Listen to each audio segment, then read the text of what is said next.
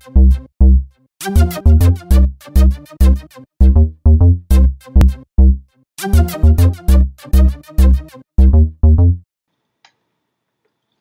up guys, it's me, Selfies Are Us, and as you can see, it is Christmas time. I got my two gifts here, which my wife will not let me open until tomorrow. That's okay, I had the patience for it. As you can see, I am uh, doing a little Christmas special. So what I did was added some video effects, added some snow effects and whatnot, so hopefully you like it, hopefully you enjoy. So wanted to throw that out there and uh, wish everyone a Merry Christmas. So uh, yeah, thanks. Enjoy.